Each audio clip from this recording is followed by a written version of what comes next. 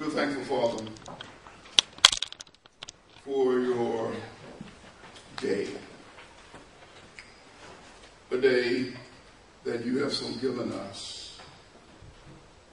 A day where we can look forward to an unclouded day. A day filled with no more goodbyes, but always howdy howdy. We are thankful, Father, for this day. We pray, Father, that at this hour you would hide me behind your dear cross. That these, your people, we hear what you want them to hear in spite of what I may do or say. In the name of Jesus, we pray. Amen. On last Sunday, we talked about uh, forgiveness. And we are continuing to talk about forgiveness as being the bedrock of reconciliation. This week, for the week of prayer for Christian unity, we are have as a theme uh, reconciliation. It is the love of Christ that compels us to reconciliation. And on last Sunday, we talked about from the Gospel of Matthew, the 18th chapter, verses 34 and 35, whereas if we wanted to have success in 2017, we must forgive 2016. We must forgive what we did or did not do in 16 in order for our lives to be better than the year before. We must forgive. We want to continue with that thought along with reconciliation as being part of what we ought to do. For in the second letter of Paul to the Corinthians in the fifth chapter, verses 18 and 19, it tells us that we are given the ministry of reconciliation. And reconciliation is a broad term that encompasses many of the attributes or the character of the fruit of the Spirit. And one such character that is not named in Galatians 5 22 and 23 forms a basis of what we call reconciliation. We are forgiven, so therefore our ministry is forgiven. Will you please look at the next slide here on the PowerPoint here? It is a sculpture by the English sculptor Josefina, de Vasconcellos. Uh, she made this sculpture, or made a sculpture like this. And it was originally named in 1977 Reunion. And it depicted a man and a woman, a woman after World War II traveled across on foot over the continent of Europe looking for a husband. And it depicts them meeting as a reunion. After 77, this sculpture needed repairs. And it was brought back to her workshop, Josefina's workshop and she reworked it. And in 1995, it was unveiled as what we see here is was named Reconciliation. So Sophia lived to be just a few months past 100. She was then at that time uh, the oldest, oldest living sculpture on earth. It was on the United Methodist web page and talked about reconciliation. Reconciliation amid the political climate that we find ourselves in. We find ourselves as a nation divided, needing to be reconciled. And I thought it appropriate to look at this culture in terms of what we want to talk about in terms of forgiveness and prayer. What brought me to this sculpture, one of the final points of the sculpture, sculpture is you see that both of them are kneeling. We don't know who forgave whom first. And we don't know even why they parted. We, we know that they were once parted. They are reunited. And they are holding each other on their knees. That's what I get out of it, on their knees. And it has drawn me to on our knees as being that of prayer. For without prayer, we can have no reconciliation. And if we want our prayers to be effective in 2017, we must have a basis of forgiveness. Thus, it brings us to Matthew, the sixth chapter, verses 11 and 12. Rick, can you go to the next one? And it reads thus as part of the example or the model prayer. Many call it the Lord's Prayer, the disciples' prayer, but Jesus gave uh, this model prayer as part of his Sermon on the Mount. And perhaps you and I uh, know it by memory now and we teach it to our younger generations to memorize. Uh, our Father, which art in heaven, hallowed be thy name, thy kingdom come, thy will be done on earth as it is in heaven. And then the 11th verse, give us this day our daily bread. And forgive us of our debts as we forgive our debtors. It is of my belief that within this model prayer, that when we ask for our daily bread, ask for forgiveness, we must have forgiveness as part of the view of which our prayers are to God for his answer, his positive answer. So when we pray, we pray from a position of kneeling within our hearts and within our minds, the humbleness of which we ask God for whatever it may be. Mm.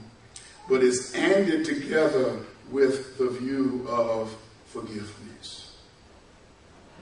That when we come to a Father who is holy, and we come with sin-stained lives, we come, always come, with a view, with a position of forgiveness, of being forgiven and forgiving others.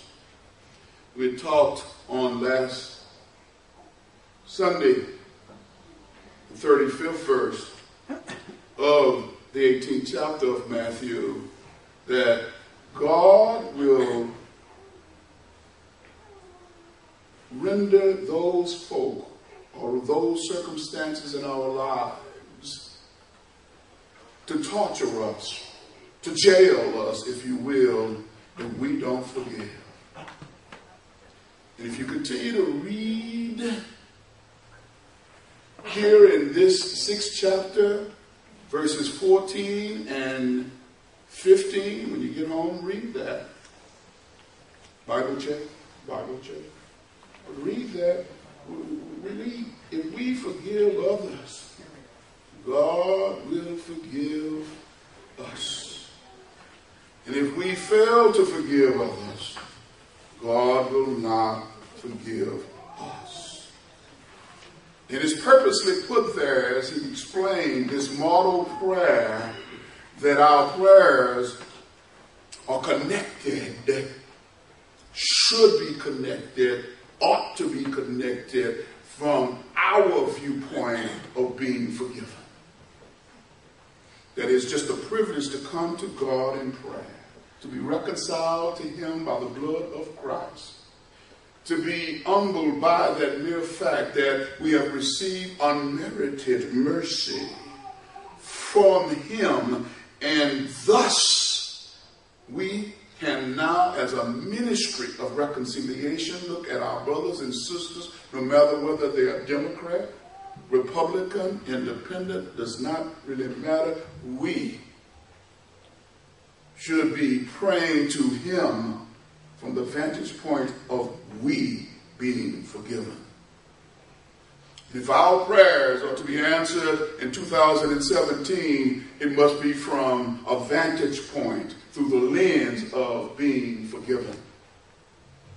No matter how good we think we are, no matter whether or not you did not cuss during the day, whether or not you gave to the poor, whether or not you extended hospitality to whomever, if we do not do it from a basis of being forgiven, hmm, then our prayer is ineffective. We must, as a Christian people, understand that we are forgiven. As a husband, we are forgiven. As a wife, we are forgiven. As a child, we are forgiven. As a worker, we are forgiven. As a doctor, a lawyer, whatever the professions may be, we are forgiven. We are all forgiven.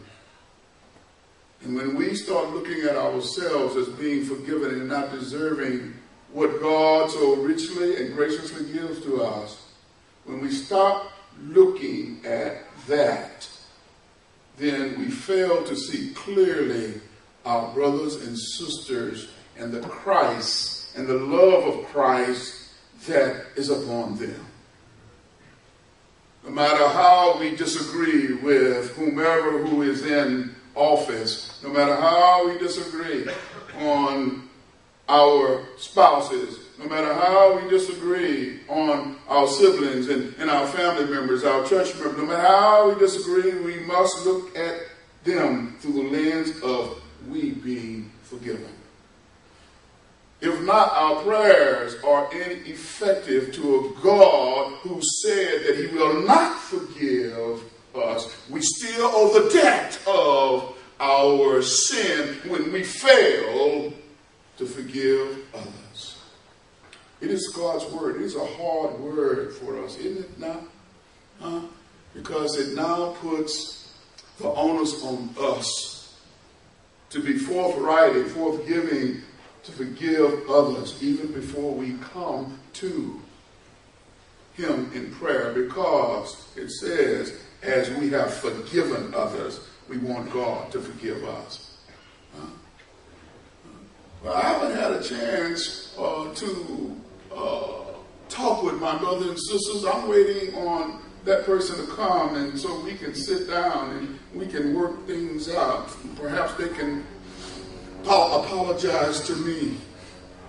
And uh, perhaps we can see, quote unquote, eye to eye, and, and then I will forgive. This does not suggest that at all.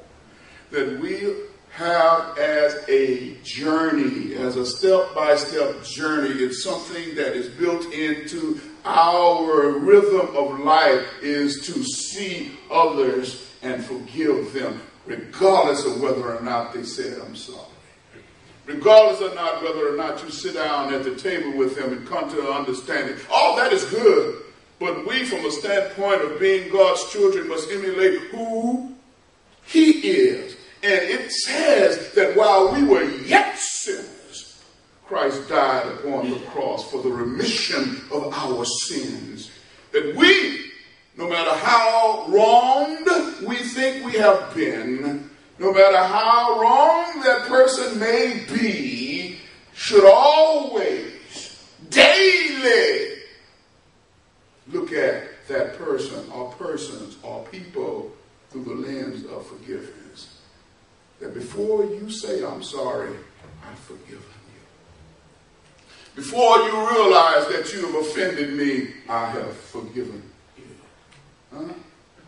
It is so ended with, give us this day our daily bread. If we want that which is of God, His Word, that which is the substance of life, we must come with an attitude, with a mindset, with a posture hmm, of being forgiven. That is effectual prayers that we no longer look at condemnation or through the lens of condemnation to the rest of the world. The Trumps will be the Trumps. The Pharaohs will be the Pharaohs that they will be. But unless we look at them as well as any other person through the lens of forgiveness, then we are keeping ourselves in jail. We're keeping ourselves from moving forward in this Christian journey, this reconciliation journey that Christ has given us as a ministry, we're keeping ourselves from moving forward. When we cannot forgive, when we do look at others through, come through the lens of condemnation, when we cut short our journey, we make our journey difficult. As we move towards where God wants us to be, when we look at others through lens of unforgiveness, then our journey becomes difficult.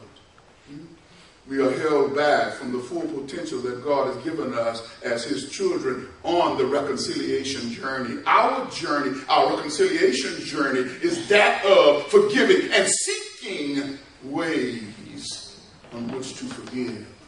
Mm, too many times we get caught up of looking at that one little dark spot on that white handkerchief of life and we focus in on that negative spot and we will not take our eyes off it because that's our nature.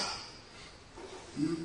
We focus in on the little minuscule things that tend to stop us from our Christian journey because we are holding something against a brother or sister that happened to us 25 years ago. We just can't let it go. Hmm? Well, well, well, well, she lied on me. Yeah, they lied on Jesus. She misused me. He misused me. Why they didn't that do it to Jesus? Hmm? Hmm? They took something from me.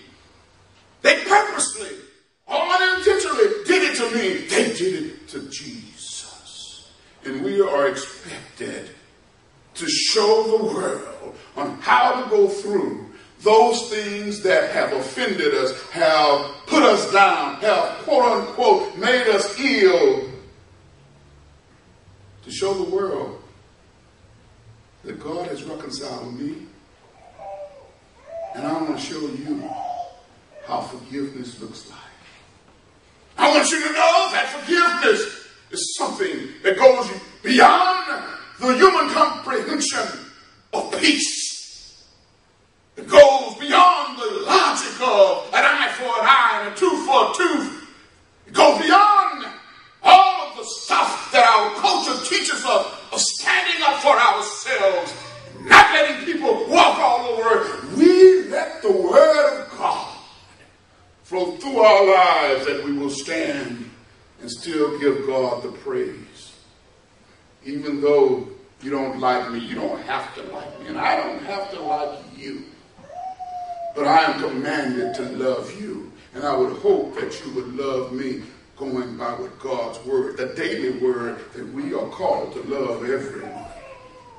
And we cannot harbor unforgiveness in our hearts. It clouds our vision we cannot see him as we ought to see him. As we sung about this morning, we want to see God. Yes, we can see God in nature. We can look at the trees, we can hear the birds sound, sing, we can see the wonders of what we call nature. But if we really want to see others, see Christ in others, then we have to get rid of the unforgiveness. If you really want to see him as he really is, we must see the Jesus in all of his creation. The potential of those strained relationships being reunited, being reconciled. We should be about reconciling. I don't know what that sculpture had meant to you. Uh, the, the story is, is this woman who walked all over Europe just to find uh, her husband, and they were reunited together. Uh, but it does speak to me that she went looking for him. And we ought to go looking for others to be reconciled with. We ought to go forward and walk over this land looking for opportunities to reunite, to reconcile that which has been torn apart. On yesterday, millions of women demonstrated. People on the other side of the fence said protested. But they came together with a cause and hope that voices will be heard, that this country, as well as the world, will be reconciled to one another. There are ways in which we can effectively reunite ourselves as a country, no matter which side of the political fence you are in. But we must do it as a Christian witness with the lens of forgiveness.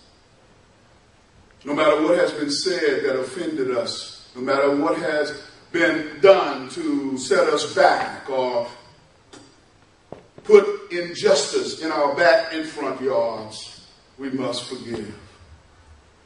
We must move forward with the most powerful tool in the Christian's bag of tools, is that is forgiveness.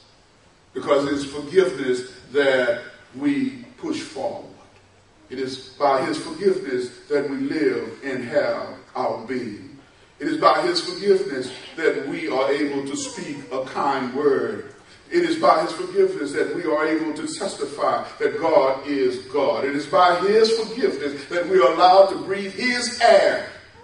It is by his forgiveness that we are allowed our hearts to beat. It is by his forgiveness that we are here in this church to lift up his holy name. It is by his forgiveness that we are here to say hallelujah. It is by his forgiveness that we can show the rest of the world that no matter how bad things are, God on the throne. It is by his forgiveness that we have the mindset, we have the heart to lift him up and let his will be done on earth.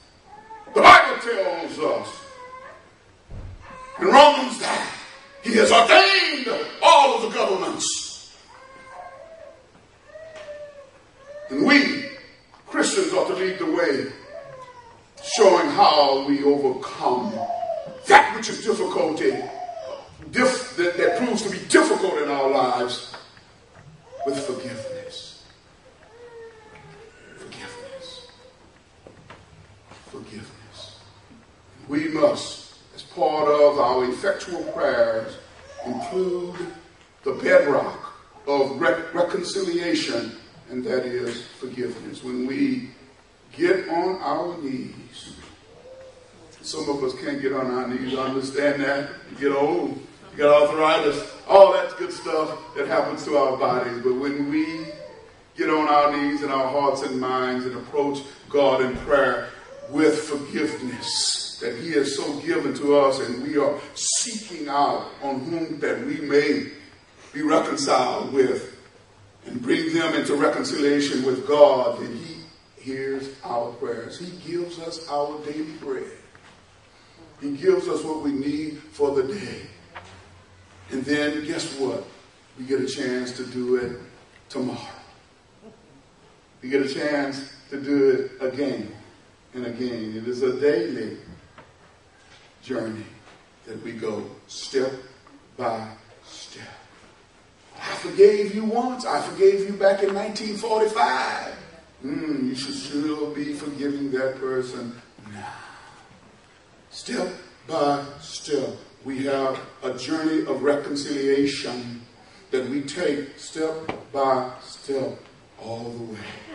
And when we do it with a faith that God will right the wrongs, that vengeance is mine, says God, then we do it with the confidence of children that one of these old days, everything will be all right. One of these days the wicked will cease from troubling. One of these old days he'll take me to himself and call me home and I will be at rest. Amen. Because I am forgiven. Amen.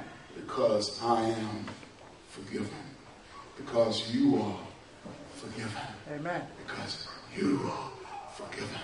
Because you are forgiven. God, we are forgiven. Amen.